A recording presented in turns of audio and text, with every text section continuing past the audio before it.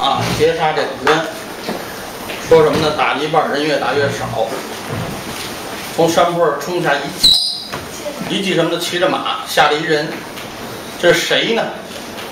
咱们先交代一下，这个人是谁啊？嗯，这个人姓单，叫单达。提他可能不知道，提另外一人知道。山西啊，就是黑道，说白了就是黑白两道，黑道有黑道的总条把子。大家都知道这人是谁，叫单通。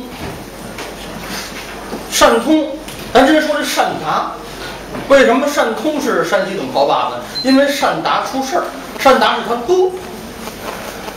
因为这件事儿，骑马下山坡就这个李渊啊，出的事儿，他移交的权利变成了单通，是总条把子。单达呢骑马路过，因为他是黑白两道，他通知啊，他是黑道的条把子呀。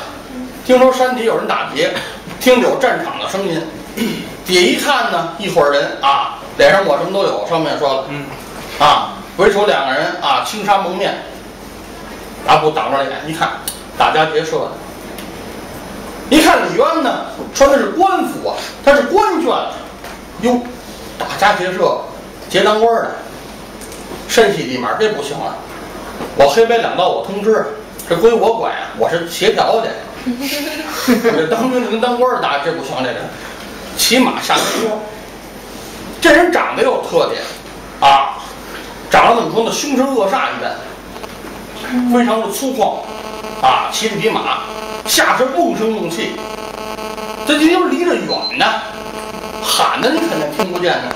他举起这手来摆手，什么意思呢？让人看见别打了，这个意思。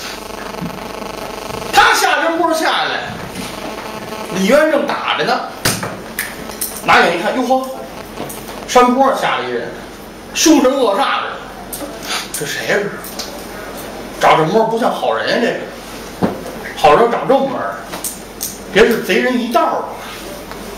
下山坡帮忙来了，得嘞，先下手为强，怎么呢？把这画个方天戟啊搭着马鞍桥上，把这弓拿出来了。啊，出兵搭箭，刃扣天前，啪一箭出去，不偏不歪，这还摇手呢。这一箭扎在耿耿咽喉上，当时死尸跌落。这是唯一书里边单达出了这一次，都是送死来的，没他的死还没单东什么事儿。咣叽，尸体倒落尘埃。一看，得撂完了，拿起来方天戟接着打。这杨广啊，跟那个宇文化及俩人打的也是久战不下。李渊也是大将，也是有能耐，画个方天戟一般人使不了这兵器啊，当枪、当刀、当钺、当斧都能使，在这打着。杨广心里有活动，俩人不敢说话，怕他听出来。也是这么多官兵我带来，就没有一个明白人吗？跟家奴员工你们打什么呀？过了点人，咱一块把他打死不好吗？没人帮他，都打家奴员工，不敢插手。里边有聪明的，这边杀的差不多了，回头一看，哟，二位主子还打着呢，就过来有这么十几号人围着开始啊，明枪易斗，暗箭难防。你这儿往后边来一枪，也负伤了，慢慢带点伤。一看叫完人啊，李云一想，我我就死在这儿了啊，查住了，交在这儿，林通山。万般无计奈，就要败退的时候，山上又下了一匹马，啊，又来一骑，高喊什么呢？这位呢明白，不摇手喊的，住手！就这一嗓子，李渊听见了，啊，杨广、袁华也听见了，得亏他是喊了，要不然又一箭过去。住手！别听说，住手！这是谁？我知道。啊，你说，你说这上哪死都冤，就差一句话。下身是谁呀？书中教的，这人是谁呢？秦琼、秦叔宝。今天咱们的主人公，《大隋唐》这部书胆是人，秦琼秦叔宝，干什么的呢？山东济南府历城县啊，三班六房总仪的马快，说白了就是捕快头，搁到现在就是属于县里的刑警大队长，就这位，非常有能耐，武功也好，在山东啊，九州六府一百单八县，人家一挑说秦琼全是大拇哥。因为呢，黑白两道通吃，抓差办案，啊，白道呢有为非作歹的他抓，黑道朋友呢能高抬手高抬手，放人走放人走，有江湖道理，所以呢黑白两道呢非崇拜这个秦琼，对他这个名声非常好，送了一个什么外号呢？叫什么呢？马跳黄河两岸，简打山东九州六府一百单八县，啊。赛专诸，似孟尝，神权无敌，盖山东半边天。秦琼秦叔宝，这个外号太长了，说实话，这有什么用？其实这外号，包括什么信息呢？咱说这外号，咱一句一句说。马跳黄河两岸，山东，人家是这马，他骑什么马？黄标马。都说黄标马，这马叫什么？千顶甘草黄。嗨，西凉玉顶甘草黄，就这马，又叫什么呢？透骨龙。为什么叫透骨龙？这马瘦啊，瘦没马样了。咱不说这马没肉，就那样，吃多少食草动物啊，吃多少肚子大起来也是草包肚子，它不贴肉。这马就这样。吃多好，哎，葡萄翻着都挺好。您看那肋条永远是露着，透骨龙，这马好，马踏啊，黄河两岸，简打山东，啊，九州六府一百单八县，武功好，一对熟铜双锏，熟铜锏锏什么模样？大多这么长，铜的，有三棱的，有四棱的，锏，这个兵器呢？能杂用也能扎，啊，非常难练这么一个兵器。秦琼其实还会使枪，这都是后文交代的。后文的秦琼有他他父亲呢，有他父亲使枪，啊，秦仪老将军那枪拴在他手里，他也会枪。前文一直呢就是使这个双锏。再往后呢，司孟尝，孟尝君，有说孟尝，有说孟尝君，这人是谁呢？咱们说说这个人。什么时候呢？这人是叫什么呢？就叫孟尝君。其实是什么人呢？叫田，姓田。这个人啊，他的父亲姓什么呢？叫田婴。这孟尝君叫田文，他父亲叫田婴。田婴是谁呢？齐国齐威王的小儿子。齐威王是什么意思呢？齐威王又是谁的叔辈呢？是齐宣王的叔叔辈儿，等于这个田婴呢是齐宣王的弟弟。田婴呢在齐国呢干了十一年的宰相，这个人啊文韬武略啊非常好。田文呢是田婴的第四十个儿子，啊最小的小儿子，有这么段故事。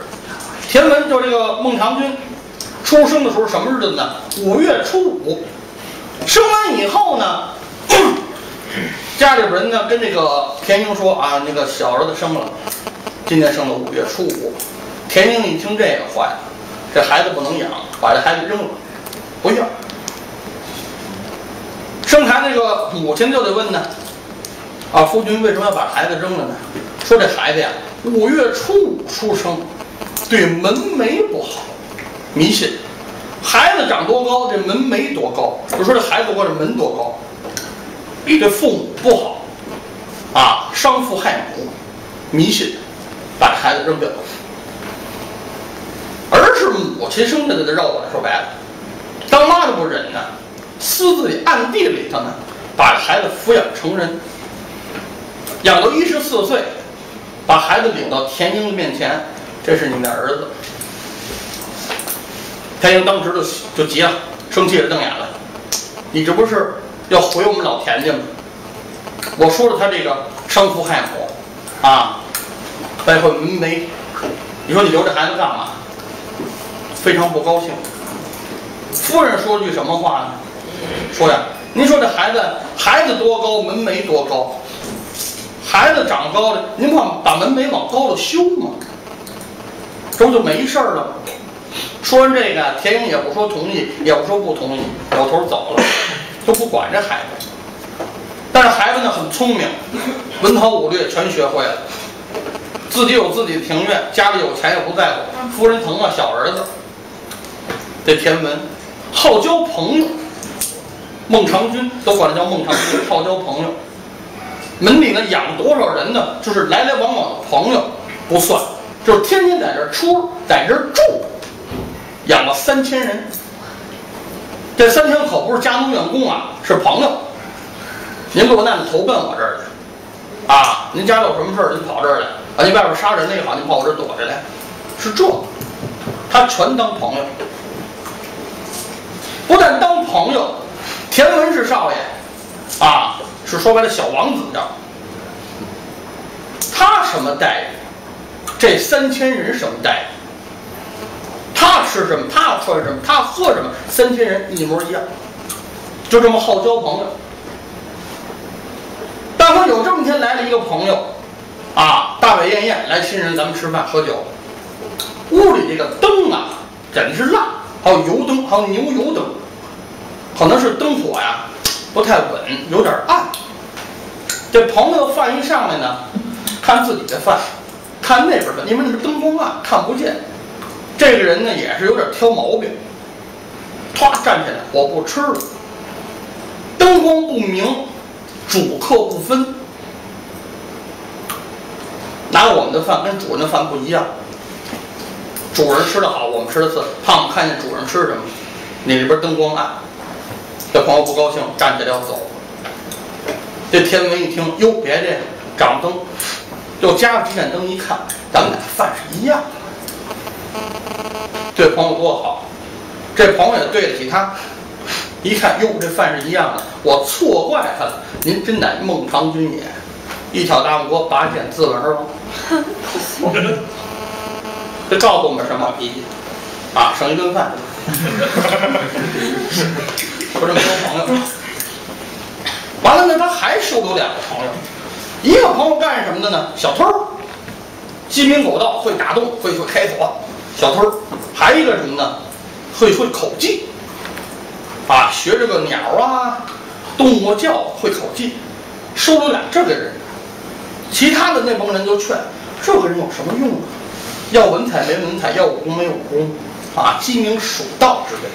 说这俩，一个鸡鸣蜀道，鸡鸣蜀道之类，没用。这俩人叫有什么用？孟尝君呵呵一乐，都是朋友。这句话就搁这儿了。到后来呢，这两个人把孟尝君还救了。怎么呢？齐国实在是没人了，派这个田文啊出使秦国。那去吧，也不给他派兵，也不派随从，怎么办呢？就带着自己这点朋友们，啊，扮成随从啊，怎么着？就让着大家出去踏青去了，去秦国了。这秦王带一什么礼物呢？白狐的皮球，皮球什么？皮草，白狐狸皮的，做一身儿。这多少只白狐狸？你做，价值连城，送给秦王。秦王入国库，收下来了。可是从中有坏人。啊，这秦宫的娘娘看着天文，哎呀，小伙子长得精神啊，是吧？这留着秦国多好着呢，就想把他留下。留下竖条奸计，什么奸计呢？啊，听说这个田文呢带来这个宝贝啊，白狐裘皮，献给这个秦王。哎，可惜呀、我是没有，我有一件该多好啊！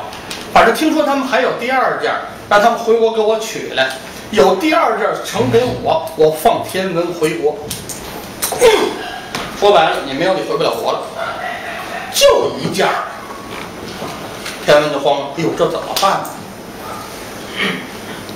咱们说这鸡鸣狗盗这二位，这位狗盗站出来了，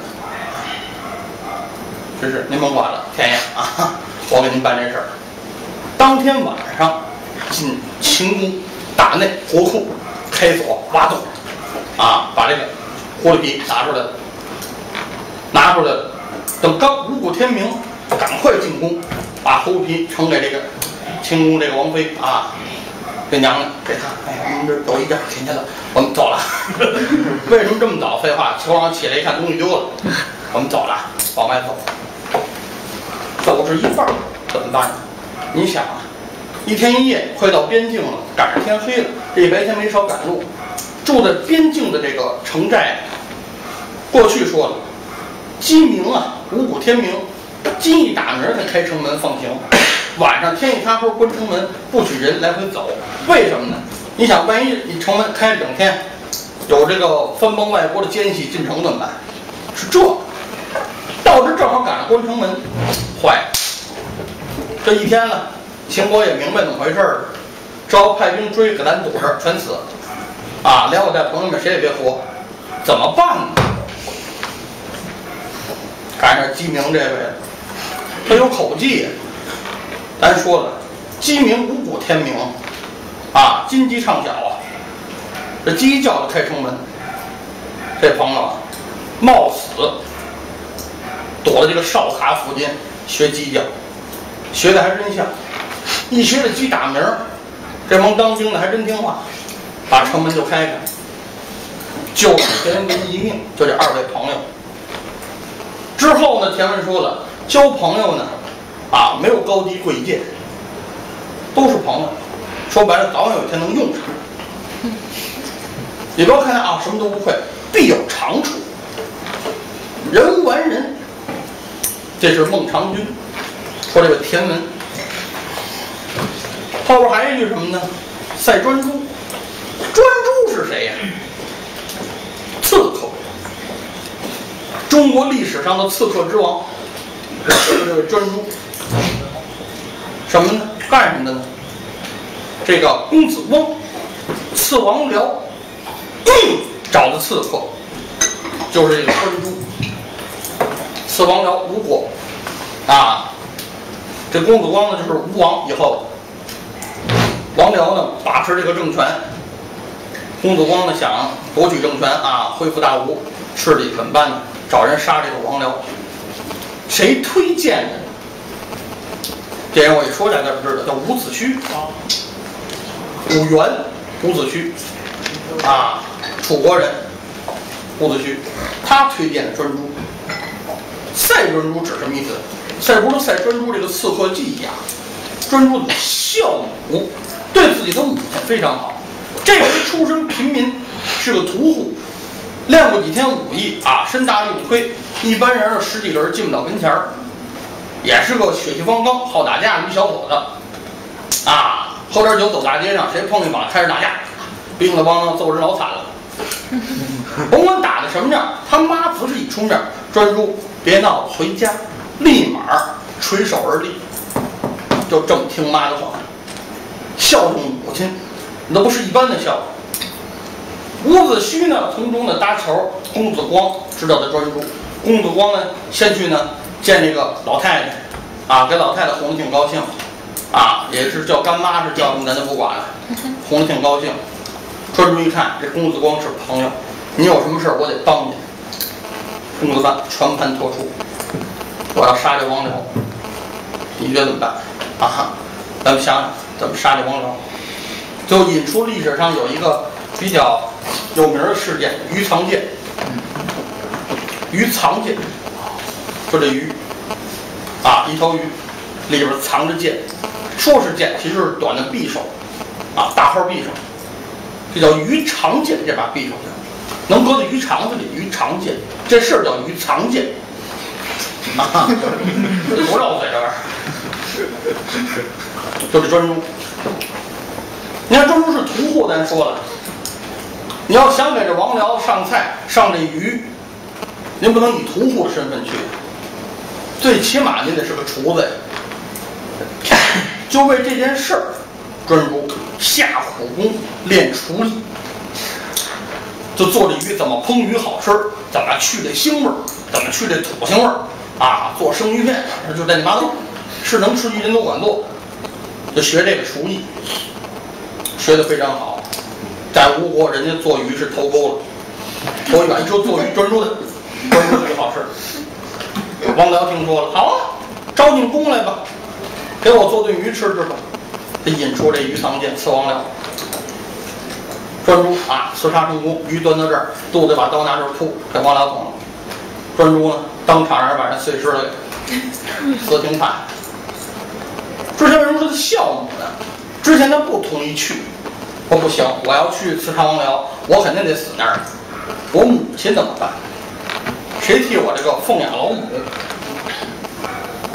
怎么办？我不想，得等母亲百年之后，我才能帮你。啊，公主王一琢磨，你母亲百年之后，我瞧你妈身体挺健康的，哈，百年之后再等个三四十年就就不行了，这个也挺抓瞎。对朋友呢，说实话有点小亏欠。啊，公子光呢也觉得，嗨，人家说的话没毛病。但是这事儿传到专诸母亲耳朵里了，老太太听，嗨，别耽误儿子正事儿。啊，儿子建功立业，是不是？怎么办呢？老太太悬梁自尽。专诸，哎，赐的王僚，孝顺母亲。但是最后呢，现在咱说之前说的叫刺客之王啊，杀手之王。现在呢，就没人拿他当杀手之王了。现在你好多厨师一问，你们祖师爷是谁呀？专诸。现在好多厨子供的祖师爷是专诸，因为他就是比较下功厨艺这个。我厨子祖师爷是专诸，啊，就说是他。啊，再往后说呢，神权无敌，拳脚好，啊，反正干山东半边天，你想黑白两道都吃，官府办不了的事儿，他出门他能办，就这秦琼秦叔宝。为什么在这个茶树岗这儿呢？你想干嘛来了呢？他跟他自己的一个同僚叫房虎，哥俩出长差押犯人，从山东啊往山西送犯人，劳动营啊转送，俩人押解的，一人押一个，不是去一个地儿。秦琼去哪儿呢？山西潞州天堂县。房虎去哪儿呢？平阳。为什么一块儿走？都是去山西境顺路，并且咱说了，从山东到山西为什么要来长安附近？咱说了，临潼山茶树岗在长安附近，为什么得去长安司？说白了，就是现在的应该是顶级的人民人民人民法院，应该是来这个长安司啊，领这个批文。得上这儿啊，报告了，这俩犯人我们判了啊，发配去哪儿？给您的批文这边一批，我们拿走送。上这拿批文了，长安司。从长安出来呢，俩人骑着马押着犯人，犯人什么的，江洋大盗啊！您看，但凡有交情的，俩人不能逮着，肯定是那个小偷、小偷小摸的，俩人走。到这个临潼山，秦琼啊是个崇拜英雄的人。你想，他不崇拜英雄，他怎么能在后头模仿英雄呢？孩子们都有个理想，我想长大了干这个，我想长大了干这个。大家都很崇拜英雄，他最后才能成为英雄。到临潼山为什么崇拜英雄呢？临潼山上有一座庙，谁的庙？我一说您就明白了，五元庙，就是伍子胥的庙，就是引荐专诸那位啊。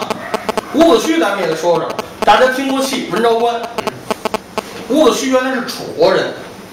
他的父亲叫什么呢？叫伍奢，哪个奢呢？奢侈品的奢，伍奢念的。还一哥叫伍尚，高尚的尚。他是单立人一个伍，被楚平王呢把这俩人害了，听信谗言，把他父亲把他哥哥杀了。伍子胥连夜逃出楚国，出关，投奔哪儿呢？就投奔这个吴国这儿来。这公子光。吴王夫差到后来，就这个投奔到他这儿呢，帮他呢杀了王僚，统一吴国，最后呢帮着这个吴国把齐国灭了，啊，齐国投降，挺好。包括呢反过头来去灭楚国，借吴国之兵灭楚国，灭完楚国，把这楚平王的棺材啊，多少年之后楚平王死了。把这棺材刨出来啊，棺材盖打开，把这尸骨拿出来，鞭尸三百，打这尸体，来三百下，啊，骂指着这屋子骂十天，恨不得给哥哥给父亲报仇。就这伍子胥。之后呢，咱说这个灭这个齐国，基本上算灭完了，齐国都纳降书了。伍子胥去接收，去齐国的首都。齐国有高人出一条奸计，说什么呢？伍子胥呀，名为来接收啊，实为什么呢？串通齐国要吞并吴国。这消息传到吴王夫差的耳朵里，夫差一听，嚯，本身就是楚国叛逃我这儿的，帮我灭了楚国，保从我这儿再叛逃齐国，帮齐国灭我吴国，怎么了这是？不行，他也对得起这伍子胥，赐了一口宝剑，干嘛呢？送到军前，拿宝剑你要自刎而亡，你自杀就完了，以表示你的忠心。伍子胥一听这个，嘿。咬牙一跺脚，得嘞，我死死吧。这怎么说呢？啊，头主不明，良禽没有择木而栖。这不是好主，夫差不是好人。死之前发下宏誓愿，自己有自己的门客，干什么呢？我死后剜掉我一只眼睛，干什么？挂在吴城首都的东城门上，把这眼珠子镶在城门上。为什么？我要看着吴国灭亡。伍子胥多狠！保不齐然啊，九年以后吴国灭亡，伍子胥就轰轰轰天誓愿这个比较悲剧这么一个人，到哪儿都没人信，最后闹这么一个地就这五元庙。为什么这是第五元庙呢？临潼山，您说这人挺悲惨的，有他扬名立万的时候啊。临潼山举鼎，千斤顶啊，力压十八国，十八国围剿。这吴国啊，他在山上一举千斤顶开大会，给这十八国全镇住了，有他这个事儿。所以在临潼山上呢，盖的这个五元庙，伍子胥的像。秦琼打马路过，一看哟，这五元庙，我得上去拜拜五元，把这饭呢交给房主看着，他骑马上山，上山拜庙。拜完庙呢，之前和房主说了，你先走，我追你去，因为他骑的黄骠马，追得快。房主那没等他，带着两个犯人就走了。他上山拜完庙下山，拿耳朵一听，也听见这个战士之声，人声嘈杂，马，兵器乒乓乱响。翻过这个山岭一看，哟，坏了，怎么呢？一眼瞧出来了，打家劫舍的强人，并且什么呢？这是官眷，他是官府中人呢。他一瞧，能瞧这是官眷，穿的衣服不一样，一下打马下山。把这个书童简拿出来，搁怀里抱着，牵着马，住手！就这一嗓子。李渊拿眼瞧，瞧见了，见山顶下来一人，穿着打扮什么呀？反羊皮的毡帽，啊，一身青剑衣，牛皮战靴，胯下马红龙啊，红骠马，一身的黄，脑袋带块白，肋叉子有点白，怀抱的书童双剑。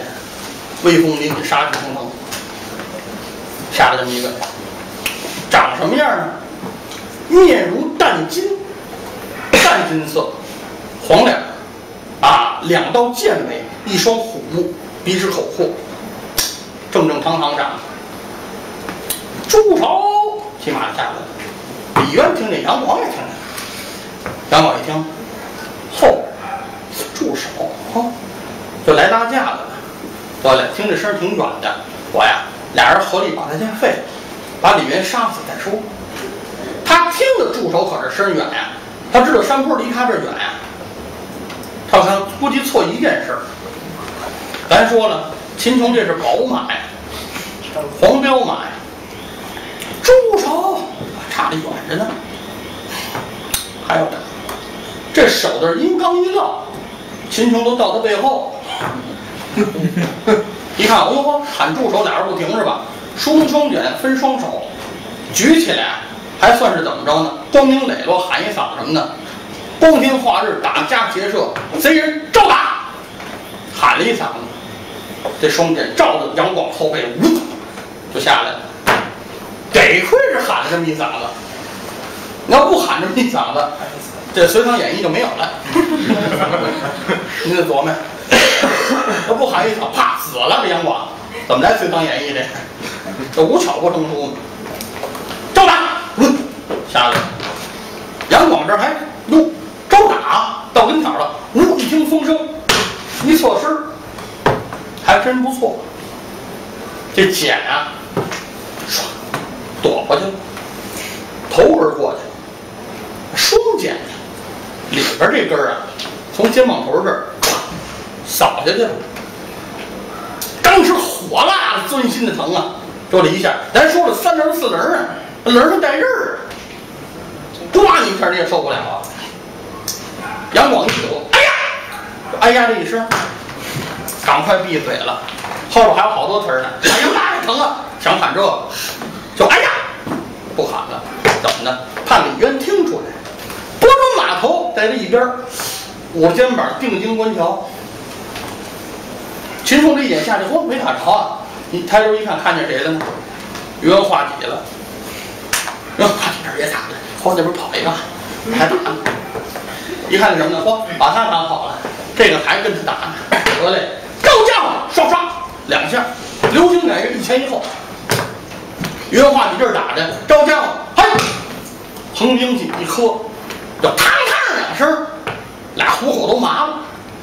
怎么的？云化你，咱说实话，半文半武，那不是正经武将。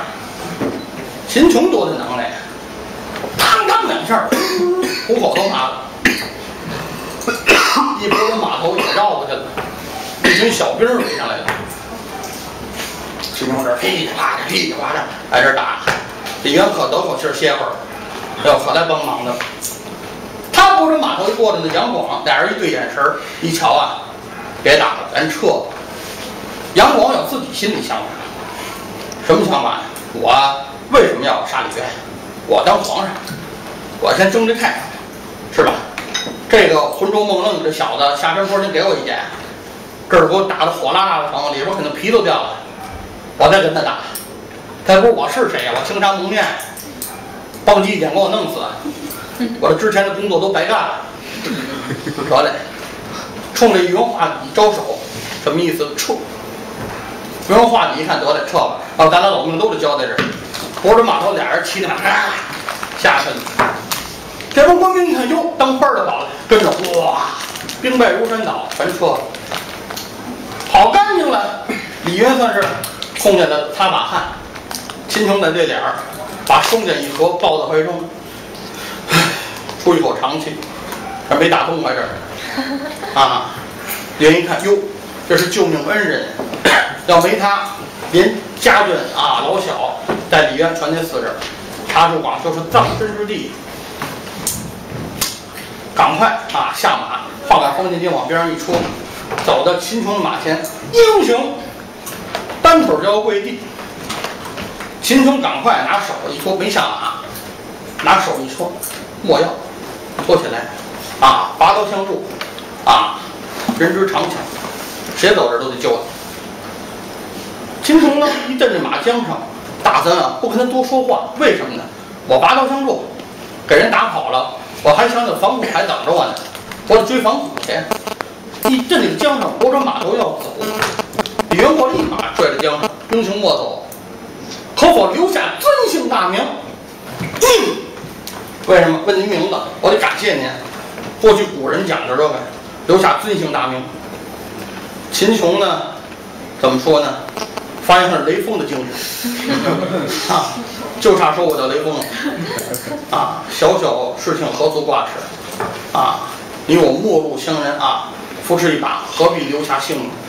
我，走，我去追赶贼人。说句客套话，我接着追贼去。你呀、忙你的，我走了。一拨着马上，咔，骑马就走。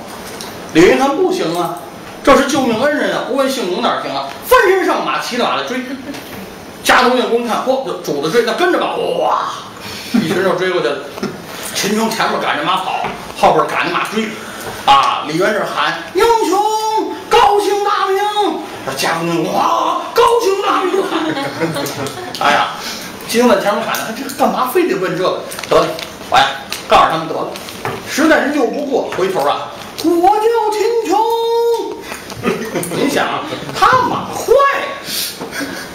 跑多远？他上坡下风跑，后边哇一群人喊：“你叫什么？”我叫秦琼，这也听不见，这是全盖过去了。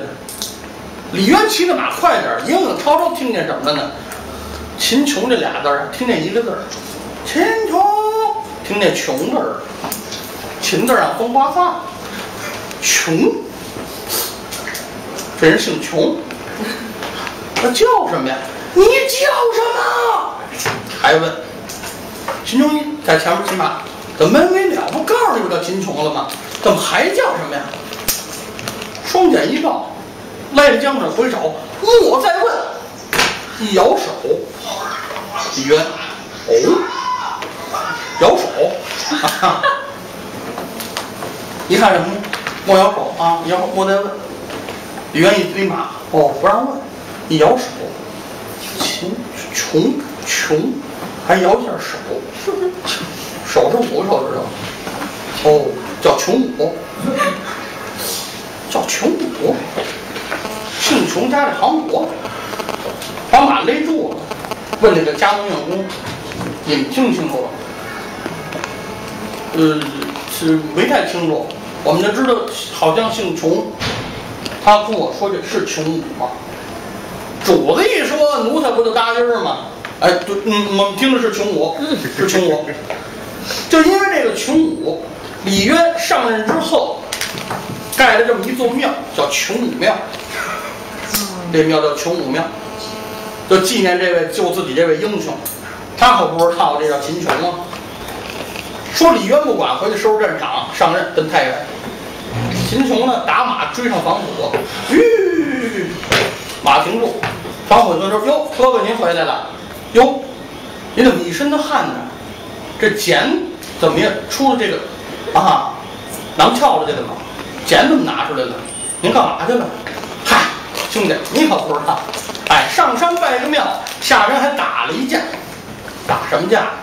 哎，报个不平。把事情经过一说，打散了一帮贼人。说完了呢，黄鬼说：“哥哥，您是这个英雄好汉，哈哈，上山拜个庙，您还行侠仗义一回。得嘞，咱哥俩走吧。没几天呢，俩人到哪儿了呢？就到这个山西潞州。到潞州呢，秦琼到地儿了，押这犯人。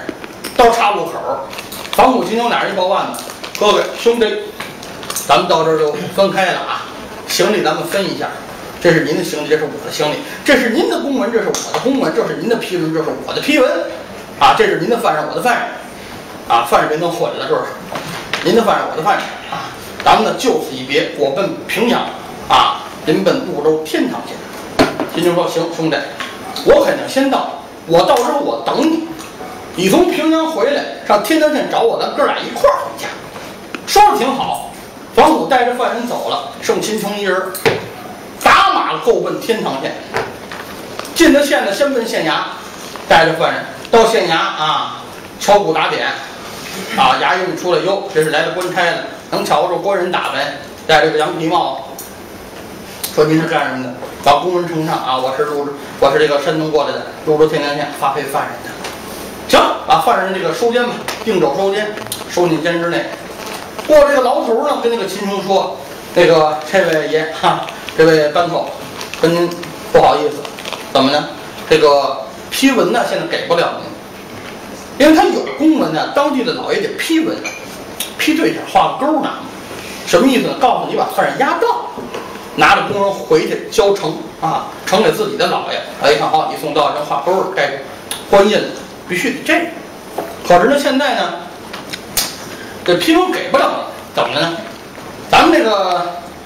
这位县太老爷呀，姓蔡，叫蔡建德，蔡老爷干什么去了呢？没在府里头。这两天呢，新官到任，山西太原啊，府尹，姓李，李大人到任，啊，去给人家啊恭喜去了，就是贺官去了。说白了，所有的县令的山西境内的县令呢，都去给人家府尹呢祝贺。这位李大人，这李大人选的？就是李渊。说咱这故事是勾着的。如果说秦琼没救李渊，这批文也拿到了，这蔡老爷不用去了。所以说这是勾搭连环。去那太原府给这个李大人呢祝贺，刚走啊，不知道哪天回来，您的委屈委屈啊，咱们这待几天，老爷回来给了您的批文，您就走。秦琼一想，得嘞，那就这么办吧。跟这官差说什么呢？我呢管驿啊在哪里？这官差说什么？那个，嗨，管驿啊有，但是现在您来的不巧，装修呢，您住不了管驿，您呀自己找地儿住。现在管驿呢下不去，没法下脚都，顶子都掀了，啊，您自己找地儿住。秦琼一听得了，就这么着吧。出了衙门去哪儿呢？去一个城西，找了这么一间旅馆，就叫什么呢？酒店饭店。什么呢？叫王家店。老板叫什么呢？叫王老好。啊，店主东，唱戏里说的店主东王老好。店小二啊，叫王小二，也姓王。一进店呢，领着马进店。王小二一看，嚯，差人的打扮，这是官府中人。惹不起，上来笑脸迎客。哟，这位爷，您是要住宿我们这儿吗？秦琼说正是啊，把马牵到后边，好草好料啊，给我腾出三间上房来。三间上房行不有有有，一明两暗，三间上房啊。推门进去，这是正屋，一边一间屋啊，腾出一间上房来，一明两暗。行行行，有有有，把秦琼的领到上房啊，打了热水啊，擦擦脸呐，掸掸身上尘土啊。喂，爷，您在这住几天呢？秦琼一想，住几天我也不知道啊。你谁知道蔡老爷什么时候回来呀？跟店小二还说呢，呃，我也不知道。谁知道你们县太老爷什么时候回来呀？但是小二哥挺客气啊，小二哥，您呢帮我个忙，我住在您的店中，可能消息有点不通，我要不出去，什么事儿也不知道。您老在街面上混。老爷多了一回县城，您通知我一声，我好呢，让老爷拿这个批文，我好回家。小二一听挺客气，得嘞，您放心吧。那什么天也不早了，我给你上点酒菜得了。秦琼说行，好酒好菜招呼吧，也有的是钱啊，有的是银子，行，上菜吧。小二去上菜，秦琼坐在屋里盘算，哎呀，老爷什么时候回来？哎，想起什么来了呢？临来之前呀，秦琼的母亲给了秦琼什么呢？五两银子，不是说路费，就是他妈登给他五两银子私房钱，干什么呢？老太太九月初九的生日，咱说的秦琼孝母，九月初九的生日，正好说你的去那压山班呢，去潞州天堂县，潞州出了出绸子，潞州绸彩绸缎，给你五两银子，给妈买点绸子回来。寿诞之日，妈要做身新衣裳。秦琼想起这事儿来了，把手呢伸进怀里一摸，五两银子在。可是再一摸，秦琼傻眼了，怎么呢？没钱了，就这五两。为什么没钱？坏了！之前呀，从山东出来的时候啊，跟房祖是一道，俩人一趟差。衙门里都知道，那哥俩也好。过去的差旅费呢，都是提前给你们俩人出差一下给十两银子呀，或一人五两啊，是这么给。不像现在人出差回来报销，啊，过去是一下都给你。正好俩人一趟差呢，房主呢去领着银子，啊，领着批票啊什么的，领着过关的凭证啊去领，一下都说你不跟秦琼一趟吗？钱呀什么都给你，你一人拿着就完了，你回去跟秦琼分不就完了？房主子全拿过来跟秦琼说：“二哥，这钱可都在我这儿呢，咱俩是现在分还是到地儿得分？”秦琼一想呢，嗨，都自己哥们弟兄没事儿，你拿着吧。路上呢，花销都你来啊，到地儿你给我点钱，我有地儿能住，或者路上呢我啊吃个饭呀，喝个酒就行，你给我留点钱就行。可是到这岔路口分道扬镳的时候，房主啊行李什么都分了，把这钱忘了。秦琼也没想，没有这概念。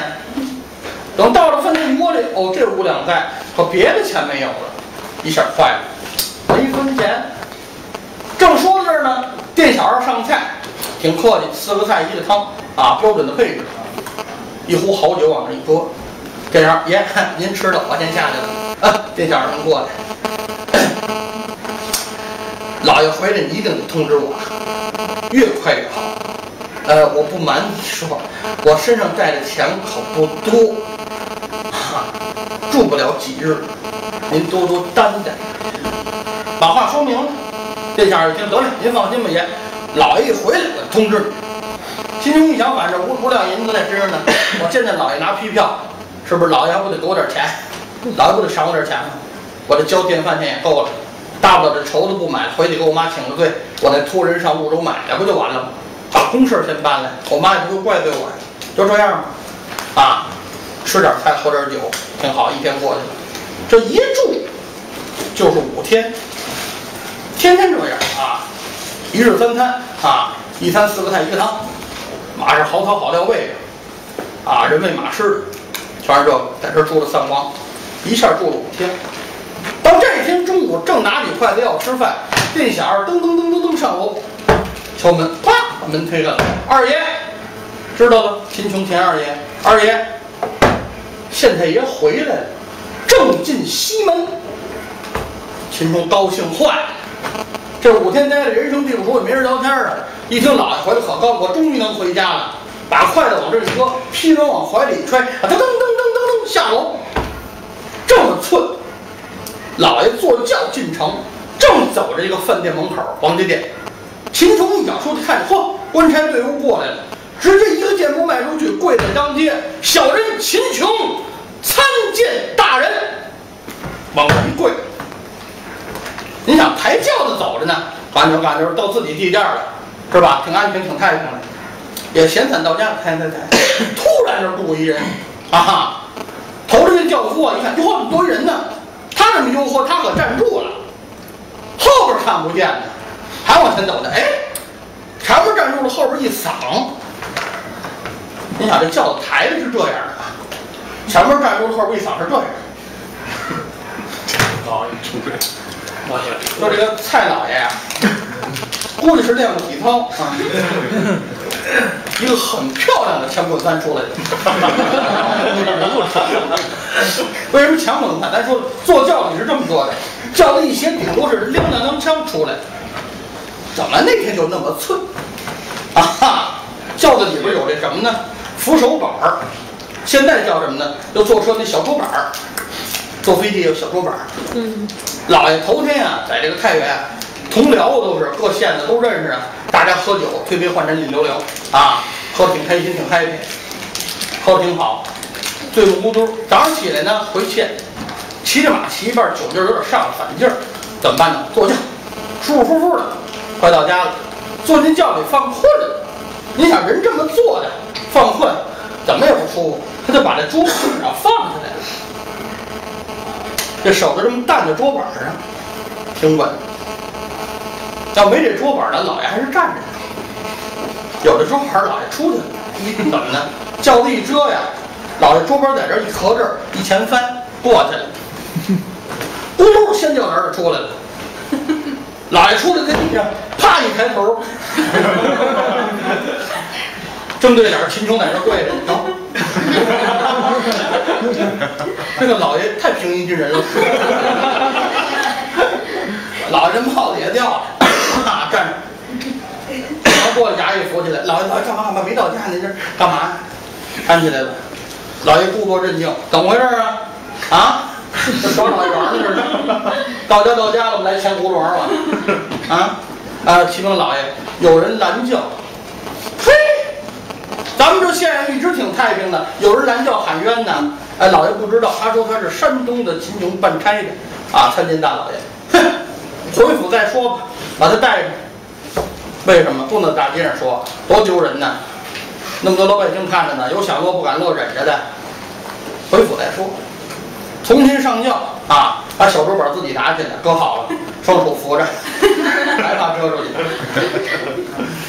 有人过来把秦琼架架着秦琼回府，进县衙，老爷升大堂，啊，一拍惊堂木，来，何人拦轿？带上来。哎，别带。老爷想起什么了呢？带上来。不带，哎，我咱听说了，山东什么办差的事儿？带上哦，你也是宫宫门中人，同事。这带上一见面一说，我这白摔了吗？这不是？来，带上，别带。打十板子再说。怎么的？不见面，有话你也说不出来，打了你白打，谁让你撞我了啊？冲撞我这个啊叫价这是官价，谁让你冲撞我？打！秦琼一听，嘿，得嘞，该打。怎么的？秦琼说我也太莽撞了，我出去让老爷来一根呆毛，这多不好这个。得了，该打。练武之人啊，打十下呢也没什么事儿，石板子，啪，石板子打完。秦琼给加个大堂，往这一跪，哈，小人给老爷见礼。嗯，老爷，哈，快生气。你是何人？启问老爷，小人姓秦名琼，山东济南府历城县啊，三班六房总铺啊，总一马快，总捕头啊，总捕头，总一马快。哦，为什么拦我叫？老爷没往这茬儿，为什么拦我叫？啊，老爷，我我是我是五天之前到的这儿，押解犯人来县啊，我等您的批文回家。老母要过生日啊，就在最近，我要赶回家中，并且呢，呃，我们这个县太老爷呢，给您有书信来往啊，宗个字说，我们老爷姓刘，刘大人叫刘琦。一说这个，这太老爷，哎呦，刘琦这人怎么的？同僚。什么叫同僚啊？一届的官儿，说白了就是一届同学。刘琦是同学啊，哟，这是我认识，这是我同学手下的人。哟，得亏是先打了十下，这要进来再打实在打不了了，抹不开面了就啊，老聪明人啊。哎呦，你是刘大人的手下呀？哎呦，你怎么不早说呀？啊。这人就下三滥之极，你怎么不早说呀？免受皮肉之苦啊！秦琼心里这个骂街，我早说，你让我见着你面吗？我早说，你打完了告诉我。得得得，秦琼一想，得了，我也该挨打，谁让我冲撞人家的？哎，是老爷，我是刘大人的手下，有一封书信给您。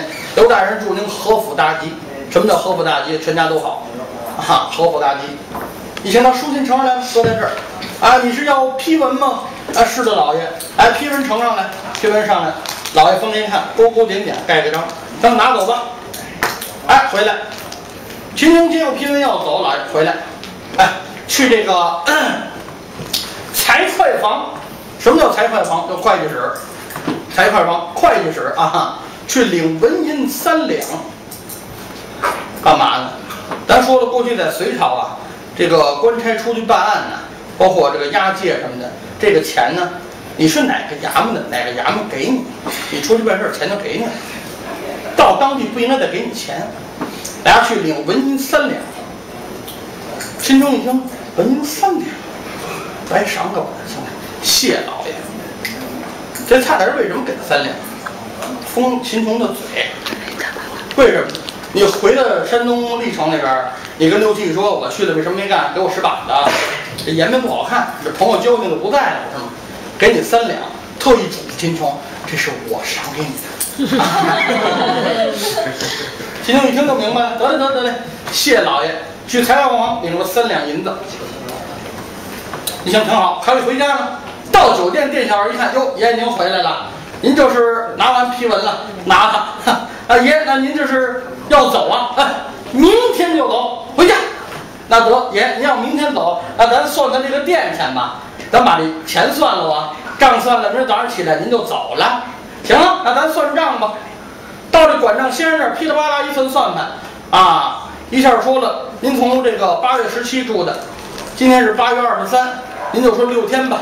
明天走，这六天呢，人吃马喂啊，一日三餐，啊，马是好料好草，咱算半天，最后是三两四千五。